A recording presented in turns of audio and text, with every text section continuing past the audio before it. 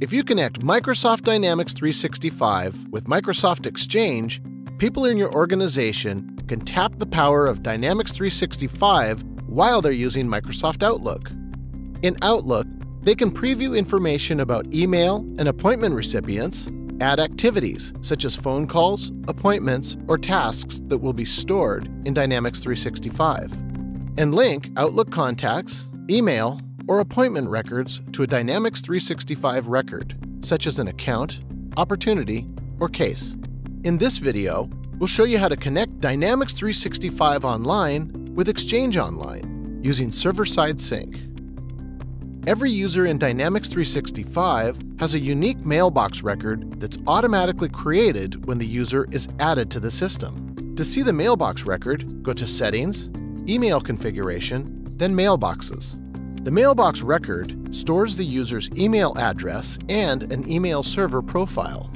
This email server profile, which has been pre-configured for Exchange Online, holds the configuration details that allows Dynamics 365 to communicate with Exchange Online. Since it's already pre-configured for you, you don't have to do anything. So let's set up server-side sync. To do that, scroll down and then, in the incoming email field, and outgoing email field, choose server-side synchronization. Next, you need to approve the user's mailbox for processing. To do that, click Approve Email in the ribbon. You must be a Dynamics 365 Global Administrator to approve mailboxes. The last step is to click Test and enable mailboxes. When you do this, a test message will be sent to the user. The test can take up to 15 minutes.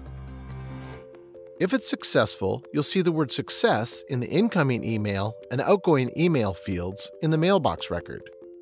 Click Save and Close when you're done.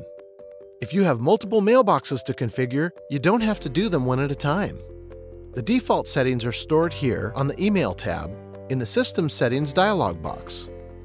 To apply the default settings to multiple mailboxes, select the mailboxes you want to configure in the Active Mailboxes view then click Apply Default Email Settings.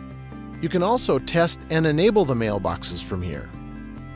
For information on other connection scenarios, including hybrid connection scenarios between Dynamics 365 and Microsoft Exchange, or for more information on Dynamics 365 app for Outlook, search for the topics shown here.